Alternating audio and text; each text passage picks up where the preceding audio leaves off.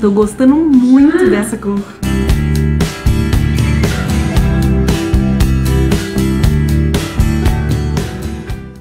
Aqui embaixo a gente já aplicou a pré-pigmentação, que é a 7.7 da Bistratus Color. E agora a Isabel tá colocando a outra cor no restante do cabelo, que é a 7.71, também da Bistratus Color.